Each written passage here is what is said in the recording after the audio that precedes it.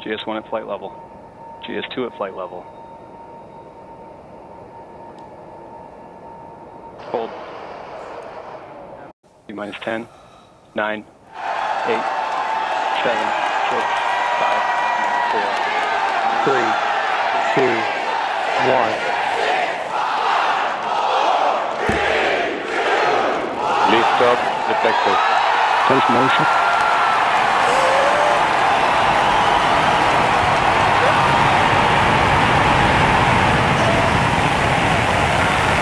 Glenn has cleared the towers. New has cleared the tower! Go, go! Engines. 30 seconds into flight. Engine operating parameters continue look good at full thrust. Body weight normal. 40 seconds in.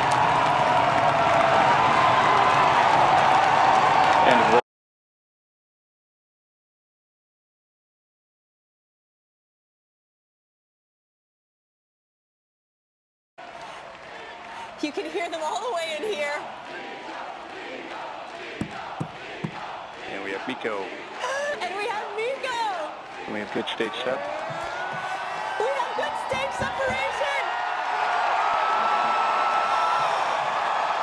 And we have ignition on stage two. Both engine parameters look good. Ignition! Oh, you see the two rockets there? Body rate stamping out nicely.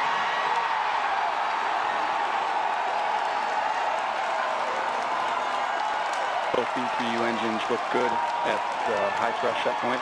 Body rate responses look good. Three minutes, 43 seconds into flight. Look at that view.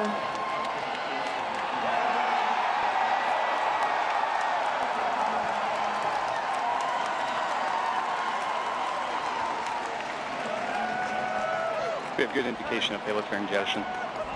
Both BE-3U engines continue to look good. Body rate response.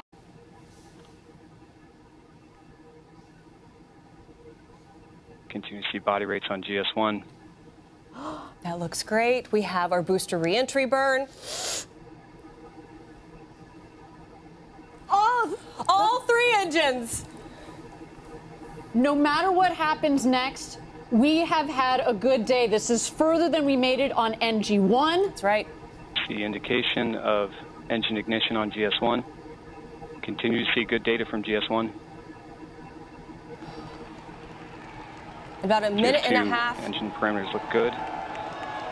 is when we would see. Confirm engine cutoff. Never tell me the odds. We've got our booster landing burn. Engine control looks good.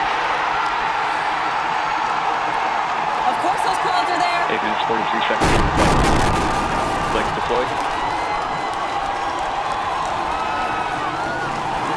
Now down one Great shot from our booster standing by for touchdown.